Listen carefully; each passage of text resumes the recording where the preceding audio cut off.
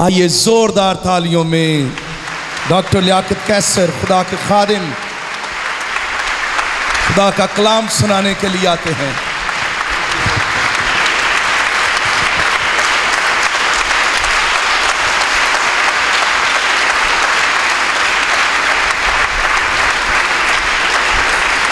Thank you good morning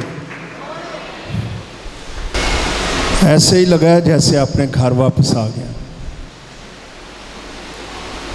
और you? आप ठीक हैं? जी? मैं भी ठीक हूँ। बहुत से लोग आपको सलाम देते थे।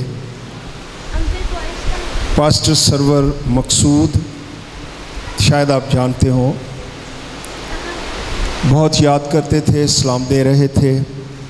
पास्टर रशीद हमारी बहन लुबना, मलक बॉयज़ रमीस, जवाद, ये लोग भी आपको सलाम दे रहे थे। हनी, फरहान उसका नाम है, उसकी बीवी डिम्पल बहुत से लोग, स्वीडिश चर्चेस,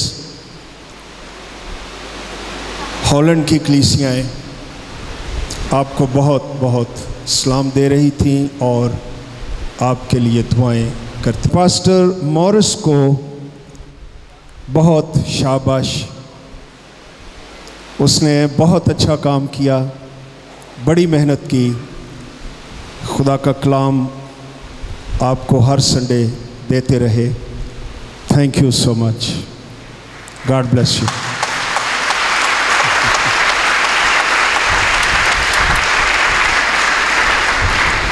सारी executive elder साहबान and more than all thank you आपकी दुआओं के लिए, आपकी मोहब्बत के लिए, आपकी वफादारी जो खुदावंत के लिए है। आज सुबह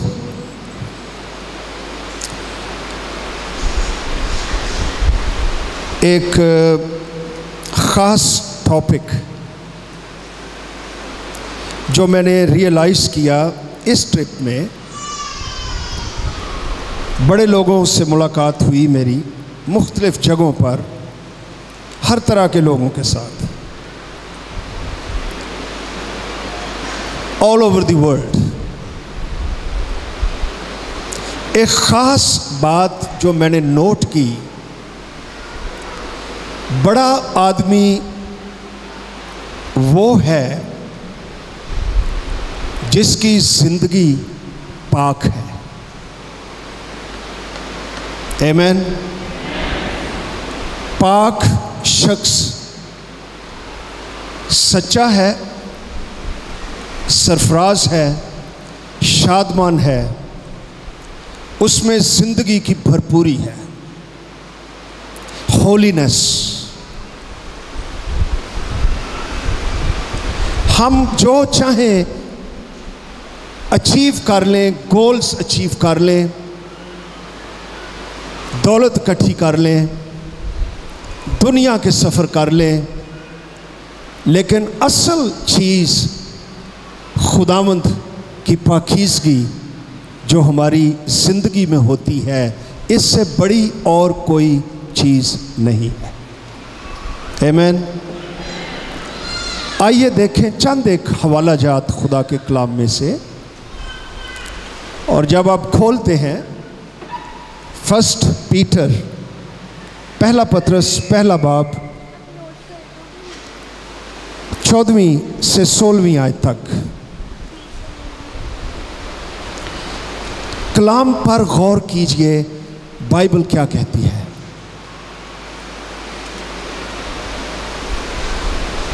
लिखा है, और फर्मा बरदार फर्जंद होकर अपनी जहालत के ज़माने की पुरानी ख्वाहिशों के ताबे न बनो। यानी जिस तरह तुम्हारी ज़िंदगी नजात से पहले थी, अब उन ख्वाहिशों के ताबे रहकर ज़िंदगी न गुजारो। पंद्रहवीं आयत, बल्कि जिस तरह तुम्हारा बुलाने वाला पाक है, जिस तरह तुम्हारा बुलाने वाला पाक है, उसी तरह तुम भी अपने सारे चाल चलन में पाक बनो। क्योंकि लिखा है कि पाक हो इसलिए कि मैं पाक हूँ। इब्रानियों बारवा बाब, चौदहवीं आयत से सबके साथ इब्रानियों बारह बाब, चौदहवीं आयत से और सबके साथ मेल मिलाप रखने और उस पाकिजगी के तालिब रहो, जिसके बगैर कोई खुदामंद को ना देखेगा। कैन यू इमेजिन उस पाकिजगी के तालिब रहो, जिसके बगैर कोई खुदामंद को नहीं देखेगा। गौर से देखते रहो कि कोई शख्स खुदा के फजल से महरूम ना रह जाए। ऐसा ना हो कि कोई कड़वी जड़ फूट कर तुम्हें दुख दे और उसके सबब से अक्सर लोग नापाक हो जाएँ। किस चीज़ से नापाक हो जाए? कड़वी जाड़। जाड़ नज़र नहीं आती, दरख्त नज़र आता है। जाड़ अंदर होती है। अंदर कड़वाहट बिटरनेस दुख भी देती है और नापाक भी करती है। हम जब पाकिजगी के बारे में सोचते हैं, हम ख्याल करते हैं मोटी मोटी बातें जो कि सच हैं। भाई जनाकारी नहीं करनी हरामकारी नहीं करनी इसके बाद हमारी लिस्ट खत्म होनी शुरू हो जाती है। बाइबल कहती है, कड़वाहट, कड़वी जड़ बिटरनेस जो अंदर है हिडन है और जड़ नूरिश करती है।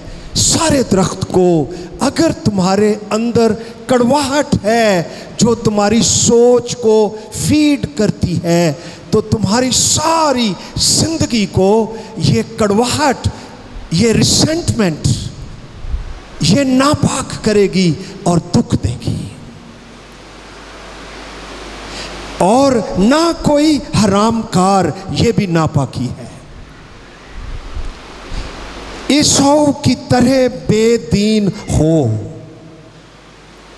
जिसने एक वक्त के खाने के इव्स अपने पहलौठे होने का हक बेच डाला। ये ग्रीडी है, लालची है। जो शख्स स्पिरिचुअल इकदार का, वैल्यूज़ का, उसका कोई ध्यान नहीं करता, उनको लाइट लेता है। आसानी से लेता है। उसके नज़दीक ये काबिल कदर चीज़ें नहीं हैं। वो ईसौ की तरह है।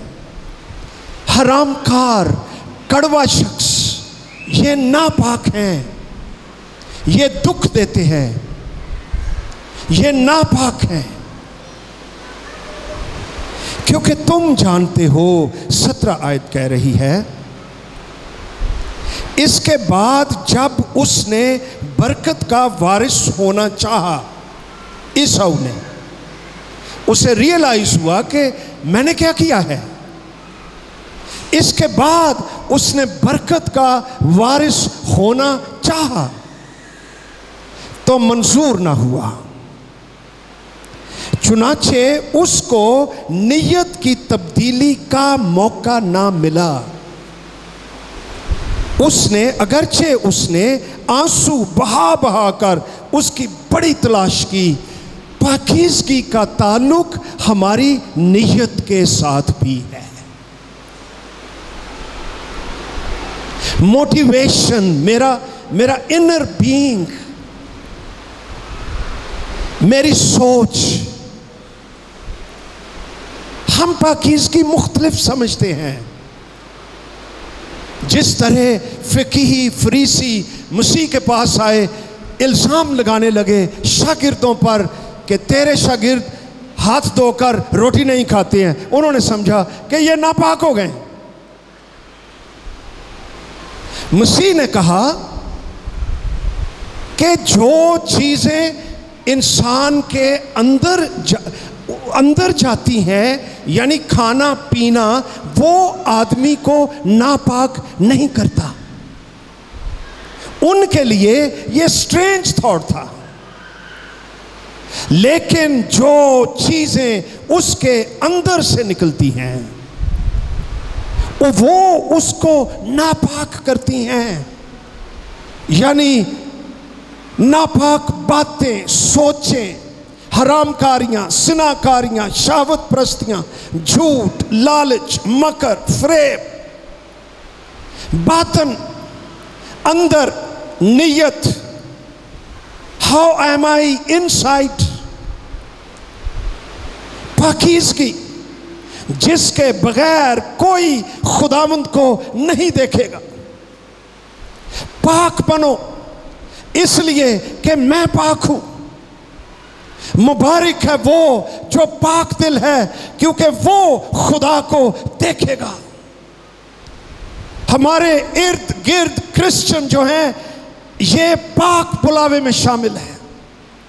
इनका बुलावा पाक, इनमें बसने वाला रूहुल कुछ पाक, अंजील पाक यस्सु पाक, आसमान पाक हमारी फेलोशिप पाक कलीसिया पाक रिफाकत पाक हमारा सब कुछ जिसको खुदावंद ने टच किया पाक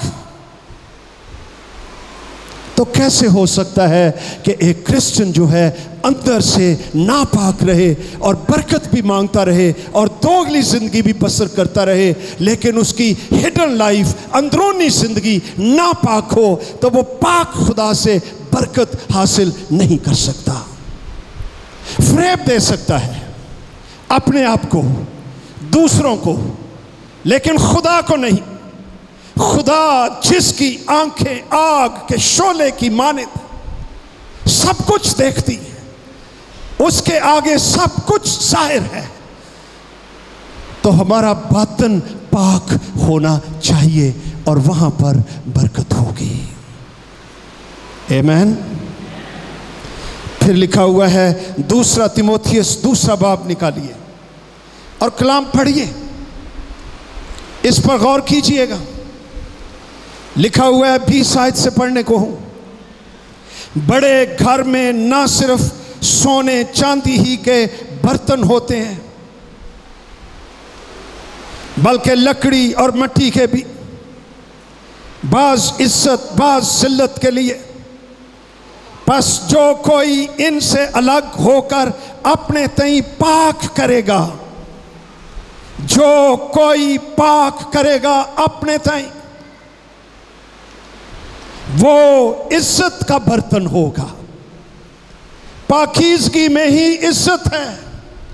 जो कोई अपने तई खुद को पाक करेगा, वो इज़्ज़त का बर्तन।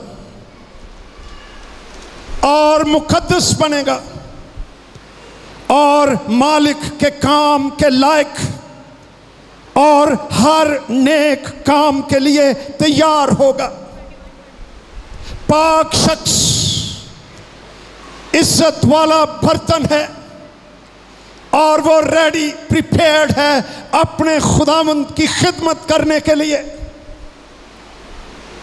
तो मेरे अजीजों, आज गौर कीजिए बड़ी संजीदगी से मेरा और आपका खुदा पाक है, जिसकी हम प्रस्तिश करते, खिदमत करते, गीत गाते, दुआएँ करते, जिसके नाम से कहलाते, वो पाक खुदा है, प्योर। हाई सेपरेट अदर मुख्तलिफ़ बुलंद नूर जिसके अंदर जरा भी तारीकी नहीं, वो पाक खुदा है। नूर है, सच है। ट्रांसपेरेंट है, सच्चा है, डिपेंडेबल है। काबिल एतमाद है, प्योर है। हम अभी दुआएँ कर रहे थे और हमें करनी चाहिए। ए खुदावन तेरी बादशाही स्कर्तू में आए, गिलगित में आए, चित्राल में आए, पंजाब में आए। Yes a man to that लेकिन गौर करो इस पर। यसु नासरी ने जब दुआ सिखाई, उसने क्या कहा? उसने कहा जब तुम दुआ करो तो ये दुआ मांगो। ए हमारे बाप, तू जो आसमान पर है, तेरा नाम पाक माना जाए, तेरी बादशाही आए। कहाँ बादशाही आती है? जहाँ खुदा का नाम पाक माना जाता है। Hallowed be thy name in our lives तेरा नाम पाक माना जाए। हमारी जिंदगियों से, हमारी गुफ्तगु से पाक खुदा रिफ्लेक्ट हो। वहाँ पर तेरी बादशाही आए, तेरी मर्ज़ी जिस तरह आसमान पर पूरी होती है, ज़मीन पर भी हो। जहाँ खुदा का नाम पाक माना जाता है, पाक लोग होते, पाक ज़िंदगी होती, वहाँ पर खुदा की बादशाही आ जाती है। एमैन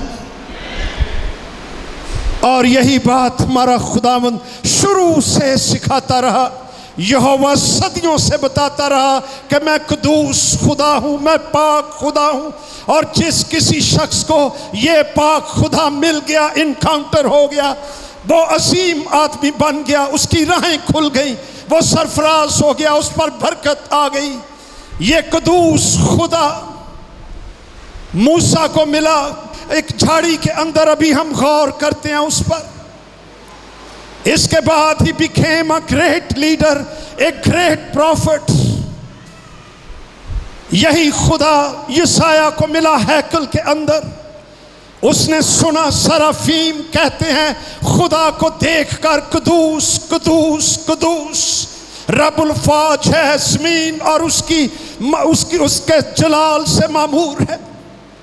इसके बाद ये साया एक असीम मुबशर और प्रॉफिट में बदल गया, जब उसको खुदा कदूस का मुकाशफा हो गया। पाक खुदा का मुकाशफा हो गया। पत्रस रसूल की तरफ़ देखिए, जब झील के किनारे, जब वो थका हुआ था, सारी रात नाइट ड्यूटी थी कि मछलियाँ पकड़ूं, लेकिन ये सारी नाइट ड्यूटी के बावजूद कोई मछली हाथ ना आई और जाल धो रहा था। शिकस्त खुर्दा वापस जाना चाहता था।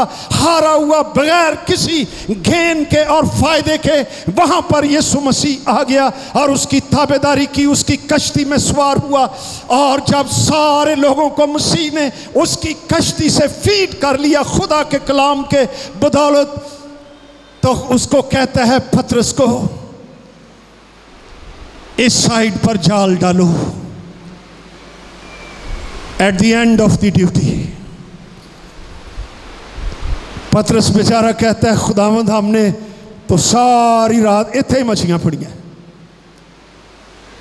तेरे कहने पर जाल डाल देता बाय फेथ ओबे जाल डाला। इतनी मछलियाँ आ गई कि जाल फटने लगे। जहाँ यीशु, वहाँ कसरत, वहाँ मौज से। उसको इल्म हो गया। अब खुदावन की पाकिजगी वो खौफ सदा हो गया। जब भी इंसान को, ईमानदार को खुदा की पाकिजगी और कदूसियत की झलक मिलती है, पहला रिएक्शन खौफ सदा। हैबत आदमी कांपने लगता है। आदमी गिर जाता है। जिस तरह यसाया कहता है, मैं बर्बाद हुआ, उसने खुदाए कदूस को देखा, मैं नापाक होंठ रखता हूँ निजस लब लोगों में बसता हूँ व्हाट शुड आई डू डर गया, खौफ खाने लगा। खुदा की पाकिजगी सबसे पहले आदमी को डराती है। खौफ सदा कर देती है। आदमी डर जाता है। मैं इस पर गौर कर रहा था, लिखा है कि मैं बर्बाद हुआ। इसका सही तर्जमा मैं उधड़ गया। जिमें बंदा उधड़ जाता है, खत्म हो जाता है। उसके पास कुछ नहीं रहता।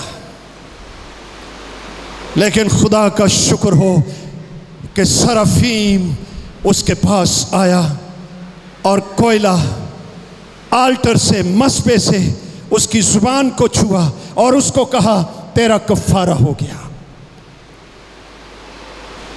जब भी खुदा की पाकिज की उसकी कदूसियत का हमें इल्म होता है, ये रिएक्शन होता है, इसी तरह पत्र रसूल डर गया। सोचने लगा, ये कौन है? हु इज़ दिस ये मोर देन ह्यूमन बींग्स है। एकदम उसके कदमों में गिर गया। और कहने लगा ए खुदामंद मेरे पास से चला जा, मैं गुनागार आदमी हूँ। यह पाकिजगी का रिएक्शन है, मैं गुनागार आदमी खुदावंद की पाकिजगी हम पर अपने आप को सहर करती है। हम जानना शुरू कर देते हैं कि मैं नापाक हूँ, मैं गुनागार हूँ, मैं नापाक होठ रखता मैं कुछ नहीं हूँ, मैं मिट्टी हूँ, मैं खाक हूँ। हम गिर जाते हैं, हम छोटे हो जाते हैं। खुदावंद उसको तसली देता है। खौफ ना कर। अब से तू आदमियों का शिकार किया करेगा। जिसको पाकिज की मिल जाती है खुदामंद की पाकिस की झलक मिल जाती है, उस आदमी को मिनिस्ट्री मिल जाती है। आदमी मिल जाते हैं चर्चेस मिल जाते हैं, अदारे मिल जाते हैं, खिदमत मिल जाती है, दुनिया खुल जाती है, वो एक बड़ा आदमी हो जाता है। पाकिजगी is the secret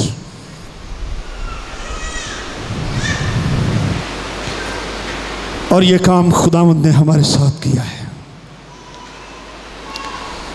Now let's look at Moses खरोज की किताब, उसका तीसरा बाप। इसमें से चंद एक बातें देखते हैं। ये मूसा को पहला मुकाशवा मिला खुदा की बाबत कि वो पाक खुदा है। He is holy let's not play with God हम खुदा के साथ खेल नहीं सकते। वो पाक, वो कदूस खुदा है। खरोज तीसरा बाब। पहली आयत से, और मूसा अपने खुसर यतरो की, जो मध्यान का काहिन था, भेड़ बकरियाँ चराता था। भेड़ बकरियों को हंकाता हुआ, उनको बेबान की परली तरफ़ से खुदा के पहाड़, हूरब के नज़दीक ले आया, और खुदावंद का फरिश्ता ये खुदावंद यसु मसीह का मुकाशवा है, जिसको यहाँ पर फरिश्ता कहा गया है। खुदावंद का फरिश्ता एक झाड़ी में से आग के शोले में उस पर साहिर हुआ पाकिस की उसने निगाह की और क्या देखता है कि एक झाड़ी में आग लगी हुई है, पर वो झाड़ी भस्म नहीं होती समथिंग स्ट्रेंज पाकिजगी का मुकाशफा हमेशा अजीब मंजर होता है। तब मूसा ने कहा, मैं अब जरा उधर कतरा कर इस बड़े मंजर को देखूँ कि ये झाड़ी क्यों नहीं जल जाती। पाकिजगी हमेशा पुरकशिश है, खींचती है, मंजर है, अजीब है, डल नहीं है, बोरिंग नहीं है मज़हब नहीं है लीगलिज्म नहीं है, बाहर की पाकिजगी नहीं है। अरे ये नज़ारा है, ये सीन है, ये वंडरफुल है, ये एक शहर है। इसमें कुदरत है, इसमें ज़िंदगी है, इसमें कसरत है, इसमें बरकत है पाकिजगी के अंदर। उसको देखने की तरफ़ मुड़ा। तो खुदा ने, जब खुदावंद ने देखा जो झाड़ी में था और वो देखने को के, कि वो देखने को कतरा कर आ रहा है तो खुदा ने उसे झाड़ी में से पुकारा और कहा ए मूसा ए मूसा। उसने कहा मैं हाजिर हूँ। नाली बंदा सीधा हो गया फकीज की। तब उसने कहा इधर पास मत अपने पाँव से जूता उतार, क्योंकि जिस जगह तू खड़ा है यह मुकदस ज़मीन है। इसलिए कि कदूस खुदा यहाँ पर आ गया है, इसलिए यह ज़मीन भी मुकदस हो गई है। जहाँ खुदावन कदूस आ जाता है, वो शख्स मुकदस बन जाता है। जिस जगह पर, जिस जिस मीटिंग में, जिस भी जगह पर खुदावन कदूस आ जाता है, वो शख्स कदूस बन जाता है मुकदस बन जाता है, मुख्तलिफ़ बन जाता है, वो ठीक हो जाता है, वो बरकत के लिए तैयार हो जाता है।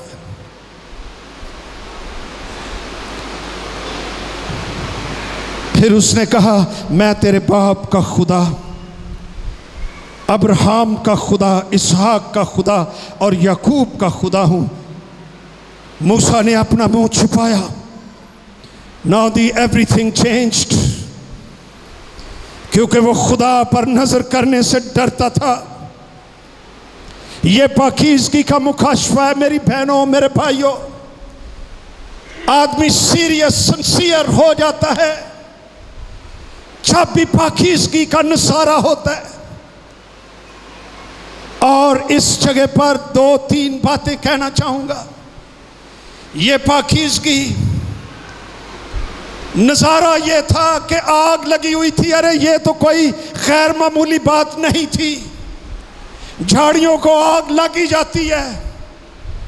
लेकिन नज़ारा ये था कि झाड़ियाँ आग लगे तो जल जाती हैं, भस्म हो जाती हैं, ख़त्म हो जाती हैं, राख बन जाती हैं। इस झाड़ी में आग लगी हुई थी, लेकिन यह झाड़ी भस्म नहीं हो रही थी। इस बात ने मूसा को खींचा, इसकी तरफ़ नज़ारा यह था खैर मामूली काम यह था कि यह झाड़ी भस्म क्यों नहीं हो जाती। वाई इट इज़ सो यह पाकिजगी का मुखाशवा है।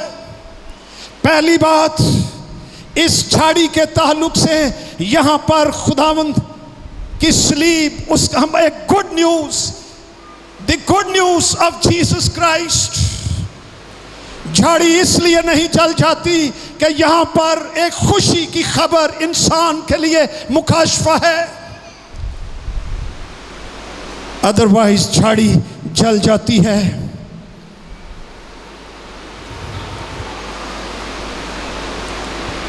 फकीसगी व्हाट इज़ इट इस जगह पर जजमेंट इन एक्शन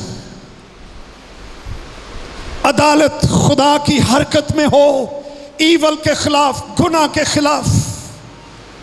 उसका भस्म कर रही हो तो यह उसकी पाकिजगी का इजहार होता है।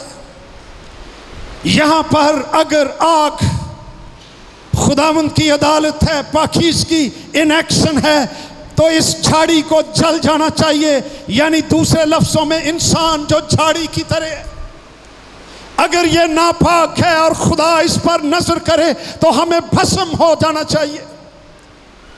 लेकिन हम भस्म नहीं होते। एक मुकाशफा खुदा की खुशी की खबर इंसान के लिए यह मसीह यस्सु की गुड न्यूज़, अंजील हमारे लिए। कि ये झाड़ी जिसके लिए इब्रानी लफ्ज मीना, इसका मतलब है थॉर्नी बुश। ऐसी झाड़ी जिसमें कांटे ही कांटे हों। रिमाइंडर टू अस इंसान की कर्ज, लानत। जानते हैं, जब इंसान गिर गया तो खुदावंद ने कहा, ज़मीन तेरे सबब से लानती हुई और वो तेरे लिए कांटे और ऊँट कटारे अगाया करेगी। इस झाड़ी में खुदा ने अपनी अदालत का मैसेज दिया मूसा को। और यीशु मसीह जो खुदा का बेटा है, हमारी लानती ज़मीन पर आ गया, दाखिल हुआ और कलाम फरमाता है कि वो खुद हमारे लिए लानती बना, क्योंकि लिखा है कि जो लकड़ी पर लटकाया गया, जो स्लीप पर लटकाया गया, वो लानती हो गया और उसके सर पर कांटों का ताज एक झाड़ी की तरह वो लटका हुआ था स्लीप पर और खुदावंद की अदालत, उसकी पाकिजगी की आग उस पर नासिल हुई, क्योंकि वो हमारा इफ्जी हमारा सब्सिट्यूट हमारी जगह पर हमको बचाने के लिए कि हम भस्म ना हो, हम ख़त्म ना हो, वो खुद स्लीप पर चला गया। लेकिन भस्म नहीं हुआ, लेकिन जल नहीं गया। उसने सारी अदालत मेरे गुनाहों की खुद अपने ऊपर ले ली और वो मैं जो लानती था, मेरी जगह पर खुद लानती बन गया और उसने जान दे दी, लेकिन वो भस्म नहीं हुआ। तीन दिन तक कब्र में रहा, लेकिन तीसरे दिन खुदामंद यसु मसीह जलाल के साथ मुर्दों में से ज़िंदा होकर गैर फानी बदन के साथ वो कब्र में से निकल आया और आज वो ज़िंदा है। और वो हमको निजात देता है। झाड़ी बसम नहीं हुई। वो जो खुश्क ज़मीन से जड़ की तरह फूट निकला यहाँ पर मूसा को ये मुकाशफा मिल रहा है। I don't know if he understood or not ज़िक्र आता है झाड़ी में भी। कुछ क्रिटिक्स आ गए मसीह के पास। और आकर कहने लगे, क्यामत के बारे में, मुर्दों में से जी उठने के बारे में बातचीत शुरू हो गई। रेजरक्शन एक मिसाल दे दी कि जी एक बंदा था, उसके, उसने शादी कर ली। वो मर गया, उसके भाई ने शादी कर ली, उसकी बीवी से शादी कर ली। वो भी मर गया, तीसरा आ गया, चौथा आ गया सतह भरा मर गए। अपने लोग बड़ा कोई मार खा मारे उन्हें कि आखिरी दिन वो किसकी बीवी कहलाएगी? उन्होंने जेन सी कि आइंदा जहान तो है ही नहीं। तो वो किसकी बीवी कहलाएगी? खुदावंद ने कहा कि तुसी बड़े बेवकूफ़ जी। और ना तुम कलाम को जानते हो, ना कलाम की कुदरत को। मूसा ने झाड़ी, में जो मंजर देखा, खुदा ने झाड़ी में से फरमाया कि मैं अब्राहम का खुदा, इसहाक का खुदा, यकूब का खुदा हूँ। वो मुर्दों का खुदा नहीं जिंदों का खुदा है। उसके नज़दीक सब ज़िंदा हैं, मुर्दे जी उठते हैं। इसीलिए तो वो कहता है कि मैं अब्राहम का खुदा हूँ। वो अब्राहम ज़िंदा है और वो खुदावंद के सामने है। और ये मुकाशवा है यसु नासरी के जी उठने का भी, झाड़ी के अंदर ये पहला मुकाशवा पाकिजगी के बारे में हमें मिल रहा है कि हम भी इसलिए भस्म नहीं होते कि हमारा खुदावन यसु मसीह ज़िंदा हो गया और हम उसके जलाल में हैं। हालेलुया। हालेलुया। दूसरी बात, इस झाड़ी में मूसा को बताया जा रहा है। कि अरे जिस तरह ये झाड़ी भस्म नहीं हुई, क्योंकि खुदा का जलाल, खुदा का शोला, खुदा की पाकिजगी। This is what it is पाकिजगी earn नहीं की जाती, पाकिजगी एक शोला है, आग का, जो खुदा के तख्त से आदमी के दिल में आ जाता है और उसकी ज़िंदगी पाक होनी शुरू हो जाती है। ही डजेंट अर्न इट कि मैं ये काम नहीं करूँगा, ये नहीं करूँगा, ये नहीं करूँगा। अरे ये मज़हब है, पाकिज की खुदा की ज़िंदगी की आग का शोला है, जो आसमान से यस्सु के नाम में, उसके खून की कुदरत से तेरे दिल के अंदर आ जाता है और तू रिच हो जाता है और तू पाक होना शुरू हो जाता है। खुदावंद ने उसको बताया 400 साल से बनी इसराइल जो झाड़ी है, वो भस्म नहीं हुई। वाई क्योंकि मैं अब्राहम का खुदा, इसहाक का खुदा, याकूब का खुदा उस झाड़ी के अंदर रहता हूँ। हम क्यों हलाक नहीं हुए? हम क्यों भस्म नहीं हुए? चर्च क्यों कायम है? चर्च को वर्स्ट बदतरीन परसिक्यूशन में से गुजरना पड़ा सदियों से, पहली सदी से। चर्च को शहीद किया गया, मारा गया, कैद में डाला गया, खाले उनकी उधेड़ दी गई, सिंधों की कड़ाहों में फेंक दिया गया, आग में फेंक दिया गया, लेकिन चर्च खत्म नहीं हुआ, भस्म नहीं हुआ। इसकी वजह क्या है? इसकी वजह यह है, खुदा का बेटा यीशु मसीह जो ज़िंदा हुआ, वो इस झाड़ी के नीचे है, इस झाड़ी के अंदर है, इसलिए ये झाड़ी कभी भस्म नहीं हो सकती है। हालेलुया।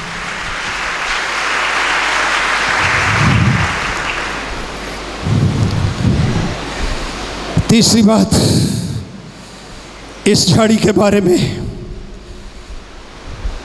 ये शोला आग का शोला जो मुख्तलिफ़ है holiness of God the flames of holiness जो खुदामंद में है, अगर ये मेरे अंदर आ जाते हैं तो मुझ पर खुदा की आसमानों से बरकत आ जाती है। एक और जगह, जहाँ पर यही लफ्ज झाड़ी के लिए मिना, सिर्फ़ दो जगहों पर यह लफ्ज इस्तेमाल हुआ है। इब्रानी टेक्स्ट के अंदर एक ये है, खरूज तीसरा बाब, और एक देखिए, अस्तिस्ना की किताब है। उसका तैंतीसवां बाब, जहाँ पर एक ही इब्रानी लफ्ज झाड़ी के लिए इस्तेमाल हुआ है। अस्तिस्ना तैंतीस बाब। उसकी सोलहवीं आयत। और ज़मीन और उसकी मामूरी की बेश बेशकीमत चीज़ें। और उसकी खुशनूदी। जो झाड़ी में रहता था। अरे लुक एट दैट और ये फिर मूसा ही है जो मर्द खुदा दुआ दे रहा है। झाड़ी उसे भूली नहीं। यहाँ पर जो लफ्ज़ है वो रहता था। यहाँ पर लफ्ज़ है शिकायना, जिससे हमारा लफ्ज़ साकिन उर्दू ज़ुबान में। जहाँ रहाइश हो, शिकायना, ग्लोरी, जलाल, जो खैमा इज्तमा में पाक तरीन मकान के अंदर आ जाता था, जब सरदार काहिन के पास एक खून होता था कफारा होता था तो शिकायना ग्लोरी, शिकायना जलाल, खुदा की आग, खुदा की पाकिजगी तो दुआ यह की गई है कि यूसुफ पर खुदा की बरकतें नाजिल हों। क्योंकि उसमें, यानी झाड़ी में, खुदा का शिकायना, ग्लोरी, पाकिजगी रहता था। वही उसके अंदर रहे, जहाँ शिकायना, ग्लोरी, जहाँ पाकिजगी, जहाँ खुदा का जलाल, जहाँ खुदा की आग, जहाँ खुदा का शोला, वहाँ पर बरकतें। हेलेलुया। आप पढ़िए ज़रा इस टेक्स्ट में तेरहवीं आयत से। क्या लिखा है? और यूसुफ के हक में उसने कहा, उसकी ज़मीन खुदावंत की तरफ़ से मुबारक हो, जो लानती हो गई थी। आसमान की बेश कीमत अशिया और शबनम और वो गहरा पानी जो नीचे है, सूरज के पकाए हुए बेश बहा फल, चाँद की उगाई हुई बेश कीमत चीज़ें, कदीम पहाड़ों की बेश कीमत चीज़ें, अबदी पहाड़ियों की बेश कीमत चीज़ें ज़मीन, उसकी मामूरी की बेश कीमत, चीज़ें, उसकी खुशनूदी, यूसुफ तेरे साथ रहे। उस खुदा की वजह से जो झाड़ी में रहता था, जहाँ खुदा का शोला और जलाल और शिकायना ग्लोरी, उसके लिए आसमान की बरकतें, ज़मीन की बरकतें, पानी की बरकतें, पहाड़ों की बरकतें, सूरज की बरकतें, चाँद की बरकतें स्पिरिचुअल ब्लेसिंग्स रूल कुछ की नेमतें, हर किस्म की बरकत उस शख्स के लिए, जिसके अंदर खुदा का जलाल और उसकी पाकिजगी, उसकी आग जो झाड़ी के अंदर आ गया, अगर वो तेरे अंदर आ गया है तो ये सारी बरकतें तेरी हो गई। तुझे इधर उधर भागने की ज़रूरत नहीं है। ये पाकिजगी इंसान को दरअसल आसूदगी बख्शती है।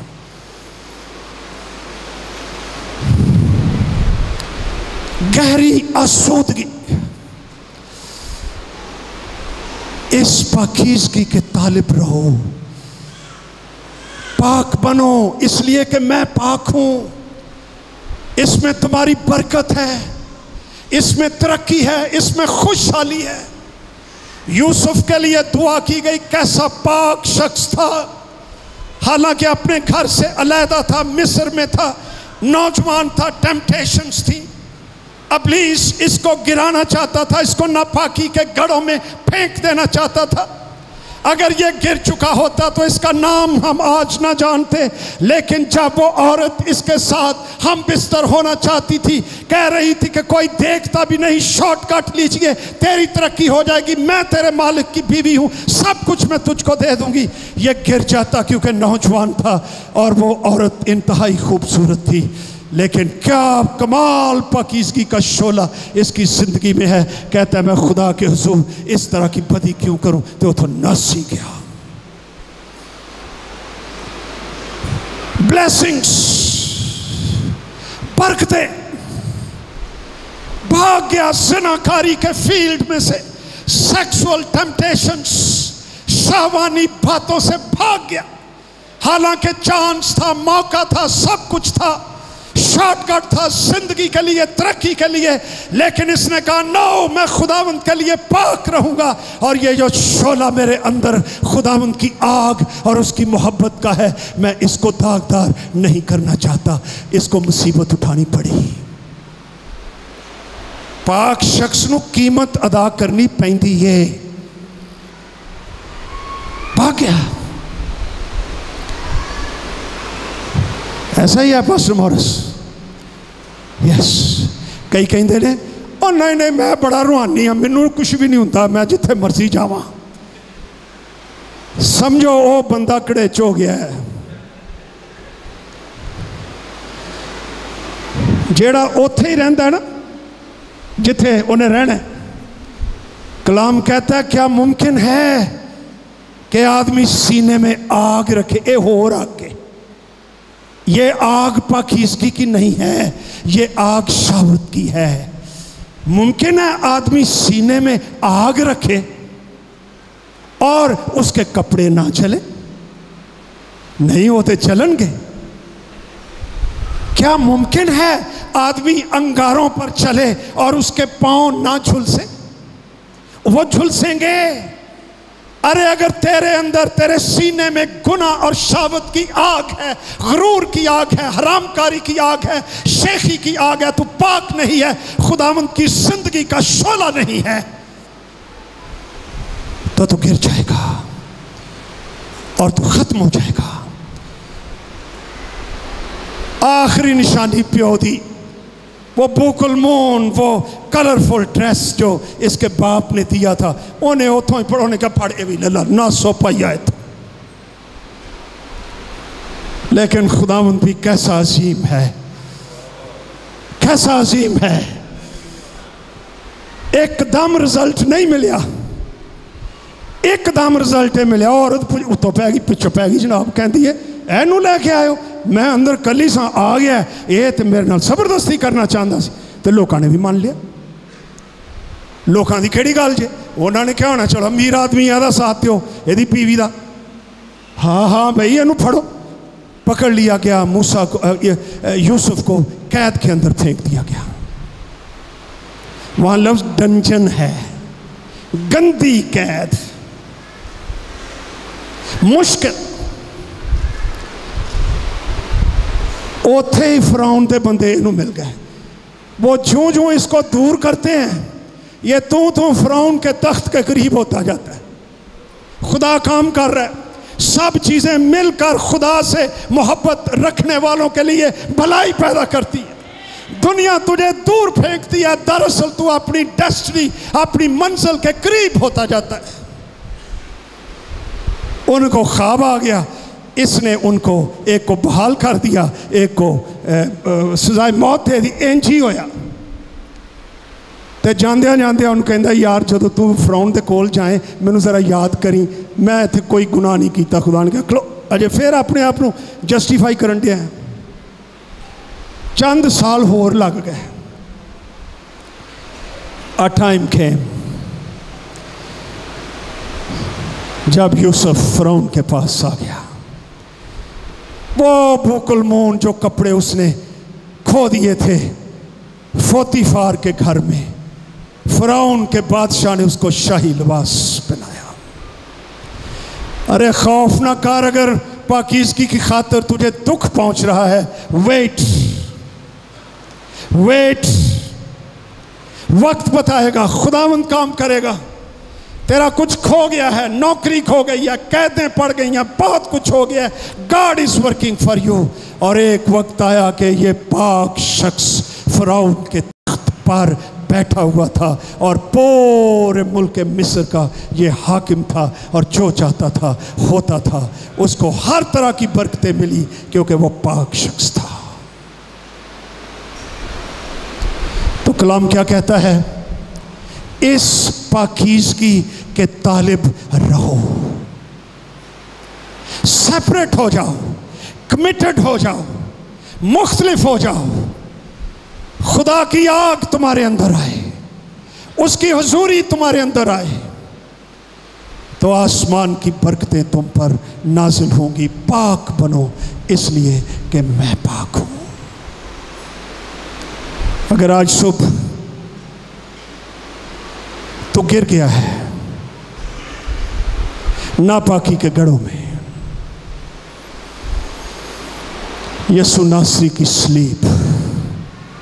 सिर्फ़ इको ही तेरी पना गाई बाने शाने कोनी, जस्टिफिकेशन कोनी, नहीं इंज सी ते हो गया। No no no no, come run to the cross सलीब के पास भागा और यसु नासी के पेश कीमत खून, वो तुझे धोकर, तुझे पाक करेगा और रोहल कुछ की आग का शोला, जो पाकिजगी का मंबा है, वो तेरी ज़िंदगी के अंदर आ जाएगा और तू पाक हो जाएगा। और हम दुआ